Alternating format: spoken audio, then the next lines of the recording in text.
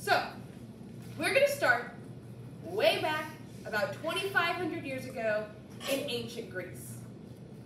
Now, at this point in time, science doesn't exist yet. Now, when I say science, I don't mean the laws of physics or how chemical reactions occur or you know the existence of evolution and biology. Those things all exist, regardless of whether or not we understand them. When I say science, what I mean is a particular framework for how we understand the world. I mean the scientific method. This idea that you notice things about the world, you come up with questions about them, you have a hypothesis for what you think is going on, and then you design an experiment to test that hypothesis. You get a bunch of data, you analyze that data, you come to a conclusion, and that conclusion might lead you to whole new questions. That technique for understanding the world doesn't exist yet. It hasn't been invented. Do you want to see a question from Joaquin? Uh, what's the consensus? Oh, consensus is like uh, agreeing to things together. Like when we all come to an agreement is a, is a consensus. Con means together, is what that prefix means. So, back then, people still want to understand the world. And they have a technique for understanding the world that is called natural philosophy. And natural philosophy works like this. You have a person, and this needs to be a person who has a lot of free time, who has the ability to spend time on this. Um, and that's just from the beginning, already we're going to be filtering out some people. Because in ancient Greece, if you are a laborer, you're going to be spending all day long working. You're probably not going to have time to do this. If you are a crafts person, you're going to spend all, all your time working. You're not going to have the time to work on this. Uh, if you're wealthy and you're busy managing a household, has anyone ever heard the term economics? Yeah. Yeah, most of you probably heard the term economics. It comes from the Greek word oikonomikos, which means management of the household. Uh, the household here being not like a singular nuclear family, but you'd have like one family and all of the people that worked for them in layers and layers. You could have hundreds upon hundreds of people that work for a specific family. And they would be managed by effectively the lady of the house. So if you had a rich family, then the wife of the person who owns everything is actually the person who runs stuff. So if you're a wealthy woman, you don't have time to engage in natural philosophy. You've got a household to run. And by household, I mean like an entire industry, right? You effectively are running a small business, a large business, right? But if you are wealthy and you've got somebody else to run things for you, then you potentially have free time to engage in whatever your society views as being a reasonable uh, and appropriate use of your time. And that's going to depend on where you live and what's important to your culture, right? If you live in ancient Greece and you're a really rich man, you're probably participating in democracy. You're doing politics all the time. If you live in ancient Sparta and you're a rich man, you're probably going to be engaging in militaristic pursuits because that's what that culture viewed as important. Uh, and in many of these cities, natural philosophy might be an appropriate pursuit for somebody who is wealthy and has free time. So, step zero, have the, the time to do this, right? You can't be focusing on your own survival or having to work all the time. You need to have some leisure time. Step one is you need to make some observations about the world. Now that's really similar to the scientific method. The scientific method and natural philosophy start in the same place. You begin by making observations about how the world works. But then, you don't come up with a hypothesis, you don't run any experiments, you don't analyze any data, you leap directly to a conclusion. You say, huh, I notice all these things, okay, here's what's happening. And once you've said, here's what's happening, then you take that explanation and you apply it to new and interesting scenarios. You should be able to use your explanation to explain new things. And then lastly, you get to do the fun part. Who here has heard the term like of, of like an internet forum, right? Things like Reddit, right? And a forum is a place you go to argue with people, to like debate and discuss. Uh, the word forum comes from the Greek term for like a town center where you would go to debate with people. And the way these debates worked is there were really intense rules for like how your arguments had to be presented. Usually they would have to be presented in verse, right? You need to put it together in a way that rhymes. And there's a very intense set of what's called rhetoric, right? Basically, rules for how the argument goes. Think of it, it's kind of like debate club. If you go to a debate club, it's less about what you're arguing and more about, hey, there's all these sets of rules for like how you present your argument correctly. And if you can follow that set of rules right, if you can present your your argument the correct way, you might win the debate even if your actual argument is nonsense. How many of you have ever had the experience of like arguing with someone and like you got mad or emotional and then they were like, oh, well, you obviously are wrong because you dared show emotion or like broke some sense of, right, this is a thing that happens to all of us. It's deeply frustrating where people don't take you seriously because of the merits of the argument themselves, but based on some cultural set of rules for what qualifies as a good argument. Did I see a question over here? Um, so, step four, you go argue in the town square in verse, probably against other philosophers with their own views. In short, whose argument and philosophy is correct is determined by rap battle.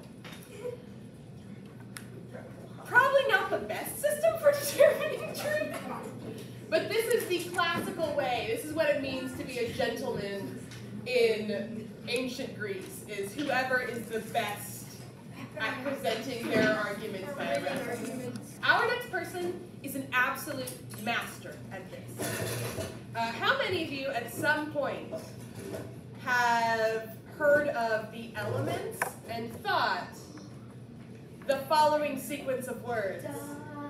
Water, earth, fire, air. Long ago, the four nations lived together in harmony. Then everything changed when the Fire Nation attacked.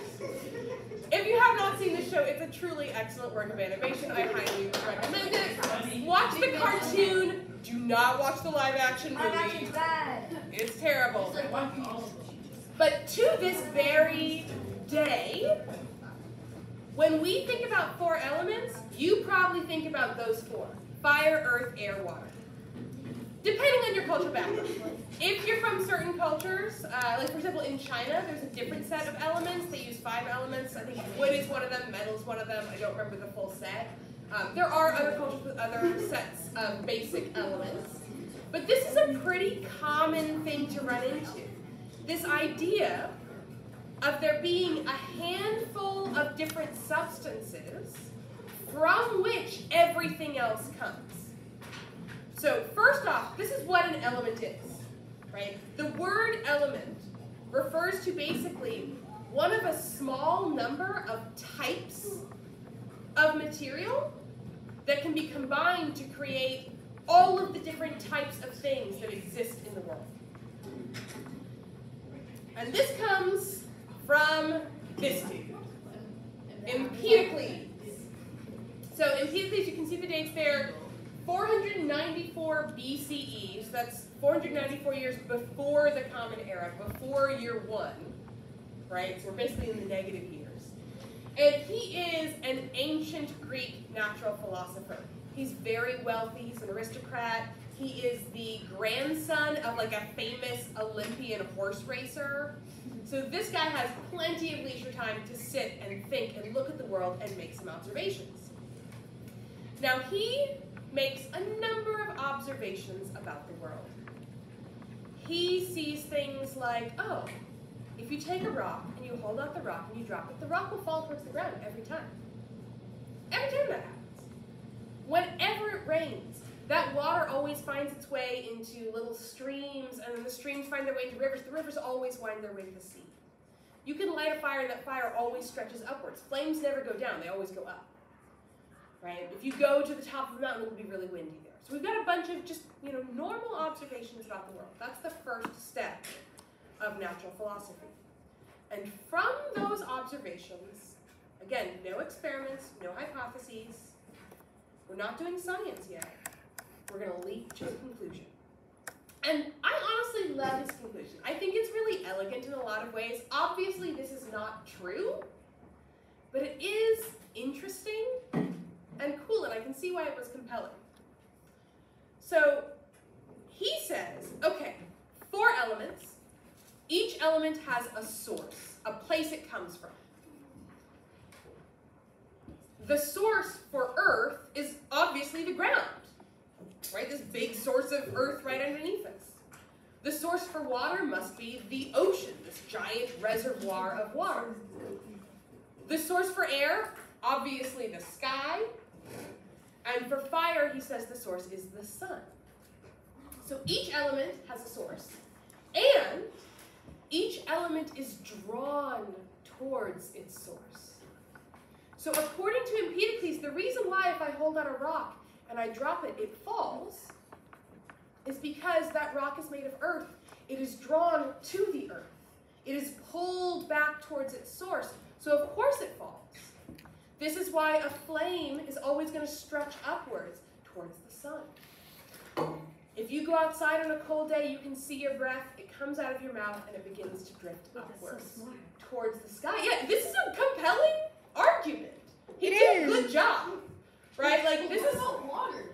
so water always Oh, finds its way to the sea. Rain falls down, it gathers into streams and rivers, which always make their way to the ocean every time. And not only could he explain wow, how like individual, like pure forms of these elements work, he said, ah, these elements are what makes everything up. Yeah, when I drop a rock, it falls.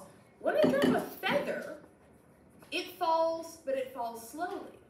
Because it's air and earth. Because it's air and earth. That is exactly correct. It is made of a mixture of these two elements. And so it's perpetually caught in the state of being pulled up by the sky and down by the earth. And yes, the earth ends up winning that, that tug, but it's slowed down by that pull upwards from the sky. And so Empedocles is able, in just a few words and minutes, to explain something that took me like weeks to teach y'all about like how air resistance and gravity works. That is frankly a much more pleasing explanation than the idea that like, yes, gravity makes all objects accelerate at the same speed, but objects have different masses. Heavier objects have more inertia, and there's this force called air resistance, which can slow down an object, but the more inertia you have, the harder it is to slow you down. And that's why something heavier appears to fall faster, uh, at least if it's in atmosphere, right? Like that's a much bigger, more complicated explanation than this really elegant one, which is just like, oh, it falls slower because it has a little bit more air in it. Yes, Emily? Uh, can you repeat the example of um, two elements combined to create something? Yes, I'll give you a fresh example. So, so one of them is a feather, which would be a mixture of earth and air, which is why a feather falls slowly. It's torn between these two sources. The other example I can give you is, say, if you burn wood. When you burn wood, you can see the flames coming off. You can see the smoke rising. So we've got fire, we have air, and what's left is ash, which returns to the earth. So you can tell that anything combustible, anything you can burn, must be made of a mixture of earth, air, and fire. Yes. So like, there wasn't there this thing called Greek fire that could like burn on water? Yes, Greek fire refers to not literal fire, uh, it is a chemical weapon. Yeah. Uh, but yes, they did. The Greeks did have chemical weapons. There was uh, a lot of very interesting things. There are people who designed like literal death rays that magnified the force of the sun. There's some pretty cool work that comes out of ancient Greece that can be very fun to look into. Uh, but I'm not going to go into like ancient Greek experimental warfare techniques. No. I know you would love me to go into ancient Greek experimental warfare techniques, but we're not going to do that. It's too big of a topic. Um, all right. So this is Empedocles. Um, he's a really cool guy, uh, and by really cool, I mean very strange. He sort of he had a huge following. Um, he kind of strikes the line between being a cult leader and being a natural philosopher. He's got loads of followers who are really into him. Uh, many of his followers believed that he wasn't human, he was a demigod, and that he never died, he just like ascended up into the heavens. Um, and his followers pointed to the fact that he didn't, that like when he supposedly died, there was no body, right? There's no body, so he clearly didn't die. Right? No, Yeah, someone just buried the body. So there's a separate set of stories told by his political enemies, which stated that like no, so Empedocles wanted to trick his followers into thinking he was a god, and so when it was time for him to die, he walked up to the top of Mount Etna, which is a volcano, and then he threw himself into the volcano, and that way there'd be no body, and nobody could prove he was mortal by being like, look, this is not a god, he's just a dude. See, there's his rotting corpse. Um, and then there's like another layer to the story of, of like, but then the volcano like refused to allow the lie to stand and tossed his golden sandal up onto the side of the mountain so that everyone would know it was a lie. Like people told stories about this guy. He was a charismatic figure. People were a little obsessed with him. Um, his work is something that inspires. There's a reason why we still are talking about Earth, Air, Fire, and Water, and why we have, and why we have award-winning cartoons to this very day that use his work.